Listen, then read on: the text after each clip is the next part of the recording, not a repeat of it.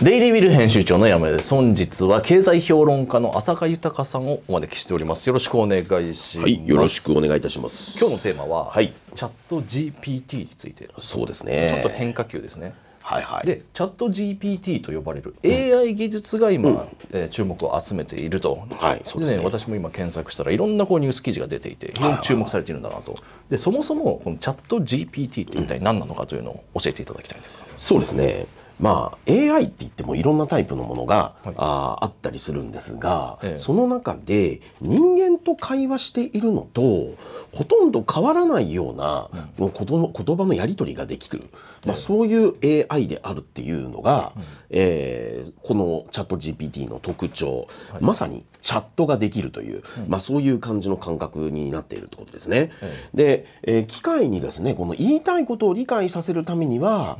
まあ普通にまあ人間同士であればこれだけ AI わかるでしょっていうところではなかなか理解してもらえないからっていうことでいろいろ気を使って喋らないといけないっていうことが、まあ、割とあったりみたいな感じのことが、あの従来はあったりしたわけですが、まあしかしながらなんですがこれ文脈とかを読んでいってですね、えーまあそうするとこういう話をしてんだろうということを、まあ、想定した上でまあその会その会話の流れに沿った、まあまあ、なんですかね自然な回答、まあ、それをまあ指し示して、えー返してくるというところが、まあ、非常に高く評価されている。そういう AI ですね。結構今でもその AI を駆使して、なんかその企業がそういうオペレーターのサービスとかを多分 LINE とかで登録したら、あそうですね。質問したら返ってくるとかあるじゃないですか、でもなんかいまいちこう的外れな、そうですよね。回答が返ってきたりとか、それ結構不完全なわけですがこのチャット GPT っていうのはもうちょっとこう空気を読むというか空気を読んでかなりすごいことが起きるんですよ。どれぐらいのレベルなんでしょう？か、うん、これ例えばですけれども、あのうんじゃあまあこのチャット GPT に対して、まあまあここ今市ヶ谷ですから、ええ。まあこの市ヶ谷の周辺でまあおすすめのランチのお店教えてくださいみたいな感じのことを、えーチャット GPT に聞くとですね、えーおすすめのランチのお店は3つありますとかっつって、はいまあ1は1番目はこれで2番目はこれで3番目はこれでみたいな感じで、まあ、それぞれのお店を挙げて、まあ、それぞれの特徴みたいな感じのことを、まあ、紹介してくれるみたいな感じのことがこう回答として出てくるわけなんですね。はい。でそれを見た段階でああ俺気分イタリアンだから、イタリアンのお店でいいお店ないのっていうふうに聞くと、今度はイタリアンのお店を3つ挙げて出してくれるんですが、このイタリアンのお店が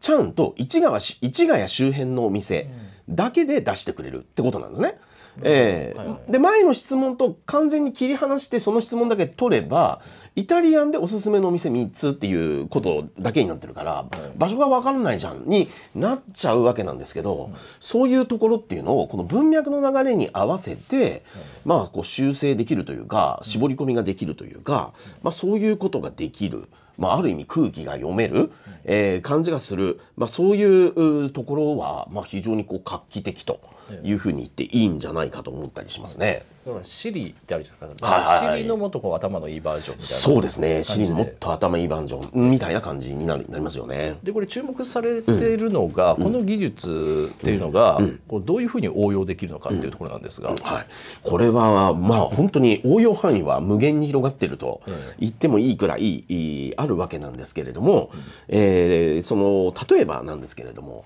えー長い論文を読まないといけないと。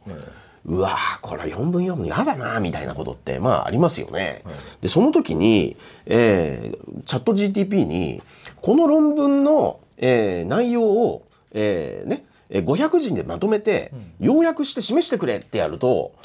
チャット GPT がちゃんとそれをバッてやって本当に500字にピシッとこうまとめて示してくれるなんてことを、まあ、やってくれたりみたいなことをするんですよね。ええでそれを読めばあ論文の内容大体そういう感じなのねっていうのがそれで大体分かっちゃうっていうようなあーそういう使い方ができたりっていうことがあります。で、えーアメリカのバズフィードってあのーあるじゃないですか。まあメディアの企業がありますけれども、あそこはこのチャット GPT を編集に使うということで、まあ、要はいろんな情報が流れてくるものをチャット GPT に読み込ませてそれをまあ要約でもって、えー、その編集したあ短い記事というのを、えー、これ使えばバンバンバンバンできるじゃんと。えー、いうようなことでコンテンツを大量生産するのに使えるぞと、えー、人手を介さなくてもそういうことができるじゃんということでもって、こういうやり方をやりますっていう発表をしたところなんですけれども、えー、実はこのバズフィードの株価がですね200%以上上昇したという、そんな話もありますね。うん例えば理系の論文、うん、まあ、文系だとしてもそういうソーシャルサイエンス、ね、そのサイエンスの分野だったら、こうね、AI が活躍できるかもしれませんが、我々こう、ね、評論とかねこう、完全な文系、人文系では、やっぱりこう人間生身の人間じゃないとできないんじゃないかなというふうに思っちゃうところがあるんですが。はいはいはい。それがね意外とやるんですか？やるんですよ。空気を読むから。読んで、ええ、意外とやるんですよ、はいはい、であのそれで、えー、今その例えば教育業界とかで非常に頭を抱えているのは、はい、えー、その学生に論文の課題を出した時に、はい、それがチャット GPT が作り上げたものなのか、うん、人間が作り上げたものなのか、うん、区別がつかないというような問題がこう出てきたりしてるんですよね。でさらに、えー、まあ世の中考える人はすごいなと思うけれども、うん、えー、そうしたらチャット GPT が作ったかどうかというのをえー、何らかの形で検証できるプログラムは作れないかみたいな、うん、なんかね今そんなことまで、えー、検討課題に入っていて、でまあそれによって、まあ、学生に論文書けって言われてこう出してきたやつを見て「お前はこれチャット GPT だろ」って言って跳ねていくというようなことまでこれやらんとダメだねみたいな、何をやってんだかよく分かんないですけど、まあ、そんな話まで出てきてるようなあことがありますよね。なるほど。でこれそもそもなんですけど、うん、このチャット GPT っていうのは、うん、これはどこの会社が作ってるものなんでしょうかね？あこれはですねオープン AI っていう会社が、はい、あ作っていて、まあ、このチャット GPT 以外にもちょっと私ね今あの名前覚えてないんですけれども、はい、画像をその人間がこんな感じのイメージの絵を作りたいっていうふうに言うとですね、えー、そのそのイメージに沿った非常にこう幻想的な、うん、あ我々人間から見てもおおって思うような、うん、そういう絵をこう作り上げるような、はい、まあ、そういうようなあの AI 技術なんかも、うん、その開発していたりするような、まあ、そういう会社だったりするんですが、はい。えー、でそこがあその担っているということになります。はい、でただまあここにはあのいくつかの会社が、まあ、大きな資本があその資金提供をしながら、まあ、支えているというそういう側面もあるわけなんですけどね。このアメリカのこう GAFA と呼ばれるね、うん、こう巨大メガベンチャー、はい、例えば Google であるとか、うん、まあ、その Apple であるとか、はい、また GAFA じゃないですけど、例えばテスラとかね、イーロン・マスク、巨大な資本を持って、やっぱりこう競い合ってるじゃないですかこの AI 技術、はいはいね、YouTube もやってるこの Google がやっぱりトップを走ってる印象なんですが、でもやっぱりオープン AI が作ったこのチャット GPT ですか、うん、この進化具合によってはこれもう凌駕するんじゃないかと、グーグルを。そうなんですよ。とか今の時点でなんなら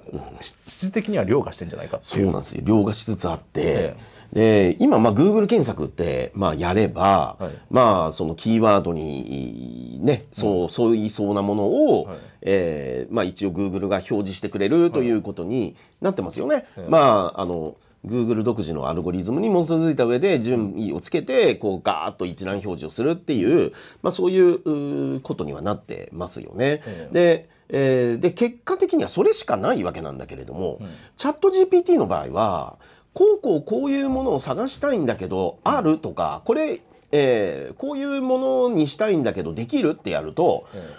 分かりましたって言ってねその差し出してくれるわけですよ。言ってみれば、あのアラジンの魔法のランプのジニーみたいなもんで、うんはい、えー、目の前にまあ本当に望むものぴったし同じかどうかは別として、うん、一応これなんか一つの候補になるんですけどっつって出してくれるっていうそういうことになるので、うん、もうこれ Google 検索やんなくていいじゃんと、うん、こっちの方がいいじゃんというそういう話になってくる、えー、そういう恐れというのがだいぶ出てきてるっていうことになるわけなんですよね。で、えー、だからこれは Google を潰してこのチャット GPT を抑えてる方が結局、えー、今後のこの AI 業界の中で天下を逃げれるんだというふうにマイクロソフトは考えているので、えー、まあ前々からマイクロソフトはこのオープン AI に対してですね、はい、まあ多額の投資は行ってきたんですが、はい、まあ今回新しく100億ドルと言いますから日本円で、えー、1兆3000億円ぐらいに相当する金額をさらに追加で投資するというようなことが、まあ、報じられている。これはもう完全に Google キラーとして、えー、このチャット GPT を使いたいという、まあ、そういう意向なんだろうというふうに考えればいいかなと思います。ちょっと話それるようなんですが、うん、このやっぱり AI が人間に勝てないなって思うのはこの YouTube もこれ Google がやってるわけじゃないですか、だから Google の AI ですよね。で例えば朝日新聞批判を、えー、浅川さんに語ってもらって、はい、したらやっぱ朝日新聞デジタルの広告がついちゃうわけですよ。とか小池百合子を批判したら東京都の広報の画面が出たりとか、この前は、えーと、大高美樹さんに、うん、あのシーインってあるじゃないですか、中国系アパレルそれ大批判してもらって、うん、でこの中でやっぱり言っても AI ってそんな頭良くないんで、シーンの広告つくかもしれませんねって言ったらコメント欄に、うん、シーンの広告だらけだったって。だからねそうなんですよね。そういうのがあるんで、でも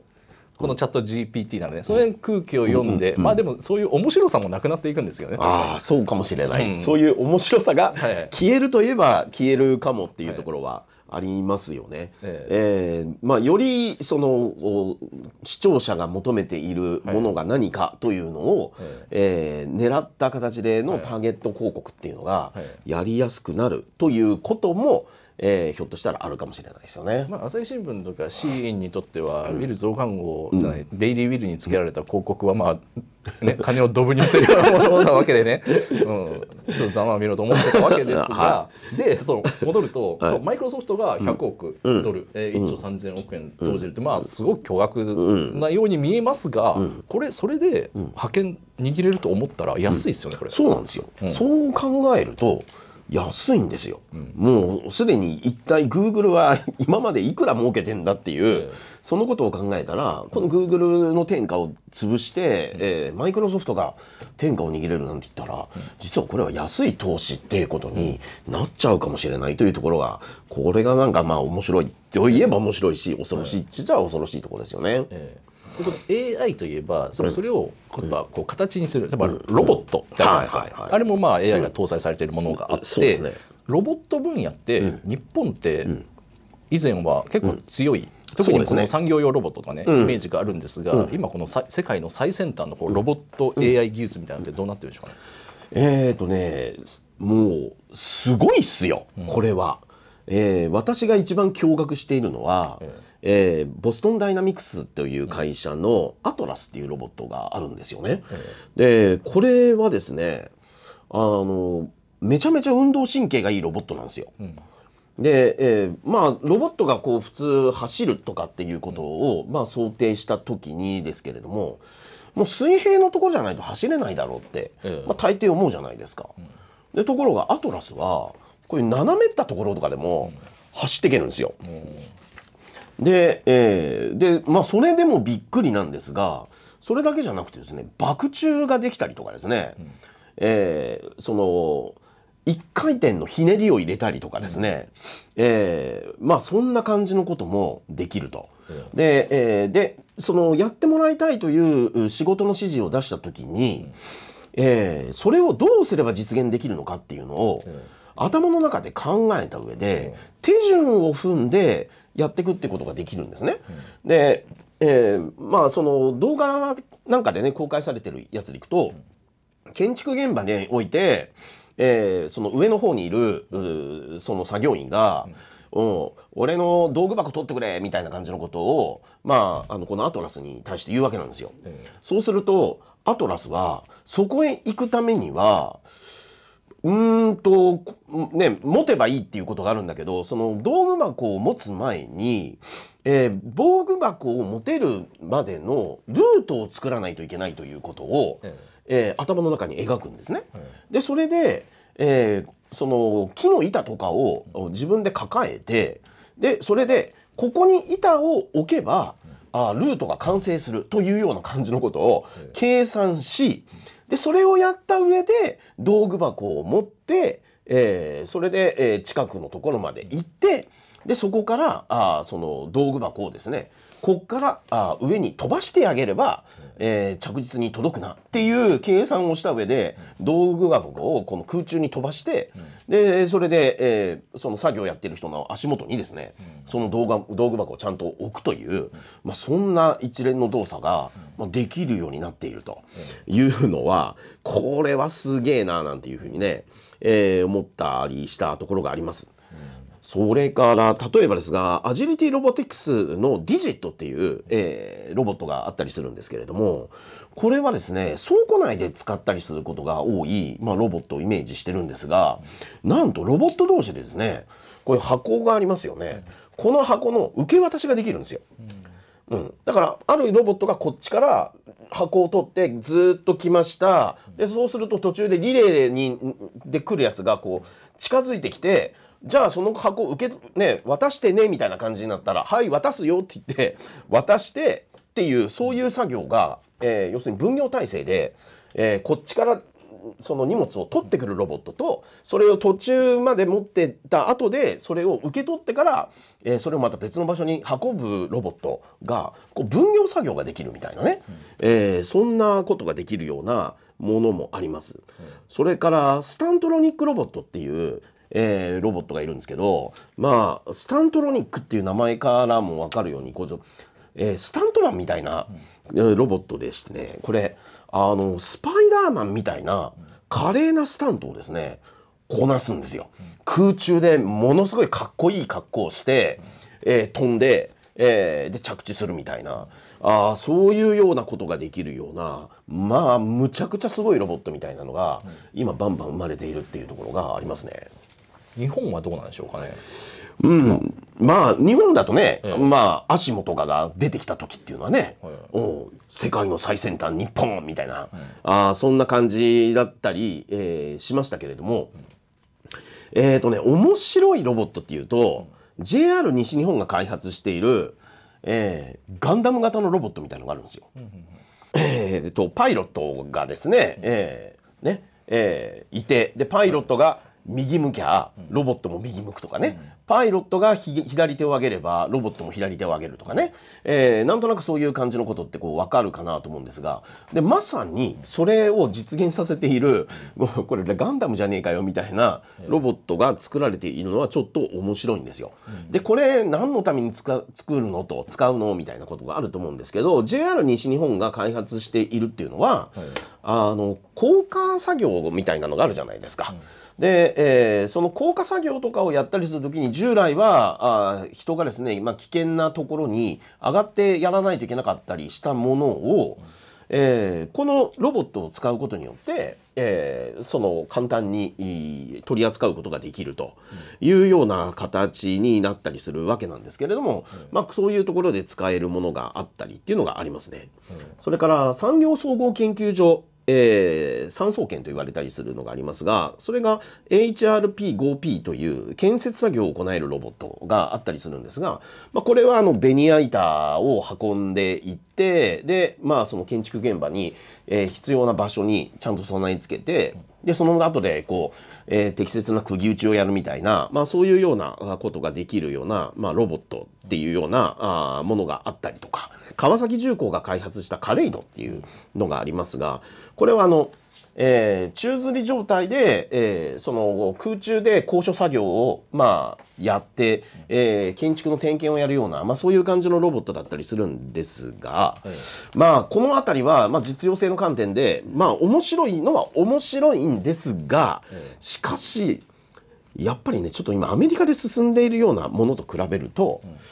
まあ正直言っていや日本は一世代二世代遅れてんなっていう感じはまあぶっちゃけ言うと今するような感じに変わってきている。っていうのはここはちょっと悲しいところですよね。その有機的かどうかみたいなところで、なんか日本はやっぱりまだこう産業用ロボットの枠にとどまっていて、結構無機質ですよね。まだこう人間の代わりはもちろん作業としてはするんだけれども、人間らしさはなくて、アメリカ欧米はやっぱり、人間ちょっとこれ不気味の谷って呼ばれるようなちょっと不気味さ気持ち悪さを生じるぐらいのこの人間に近さというかね。うん、あただね日本でも、はいはい、あのえー、とこうなんですかねパッと見ん。本物の人間かどうか分かんないような、えまあ、あるある意味こうアンドロイドって言えばいいんですかね、そういう感じがするようなそういうロボットも作られていたりはするんですよ。それあのビジュアルだけじゃなくてですか、うん、ビジュアルだけ、まあ、ビジュアルが中心っていうことになっていて、はい。まだあの適切な会話ができるっていうところまでは言ってないですけれども、ただしあの微笑んだりとかええ。まばたきしたりとか、はまあ、そういうところで、えー多少なりとも人間には近づいてるっていうところは、まあ、あるにはあるんですけどね。ええでまあ一世代二世代といってもまあ遅れてる。そそうれは現実であってその原因としてはこれ何が挙げられなんでしょう、いやこれはもう間違いなく開発資金があるかないか、うん。うん、そこの問題だと思うんですよね。でもう財務省がもう緊縮財政路線を敷いているのでこういう先端技術開発ってものすごいお金が必要になるのが分かっているのにケチるわけですよね。でアメリカの場合はあの兵器開発にものすごい膨大な予算が当てられていて、はい。で、えーそこの中からこうしたあこの、えーロボット開発なんかに対しても、えー莫大なお金がこう与えられていくと、AI 開発なんかに関しても莫大なお金が与えられていくっていうそういうところもあったりするんですけれども、まあこれは本当にとにかく、うん、この緊縮財政路線っていうのが非常に大きく足を引っ張ってるんじゃないかなっていうのは自分の中では感じるところなんですよね。でなんでこういうものを将来の日本の宝になるものじゃないかとなんでそれを潰すようなことをやって民間に任しときゃいいんだになっちゃうのかなっていうのは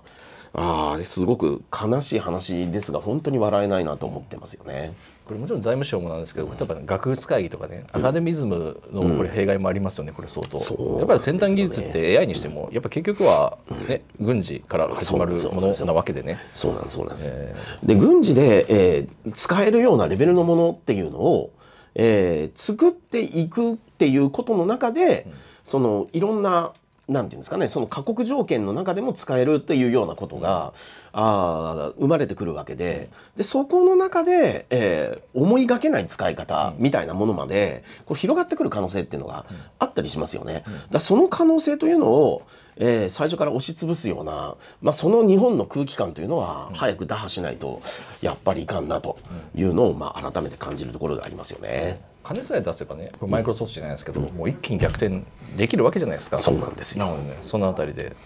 ぜひ日本最高。日本最高。向けてね。頑張っていきたいですよね。ます。はい。必 必ずやろう。日本最高。ありがとうございました。ありがとうございました。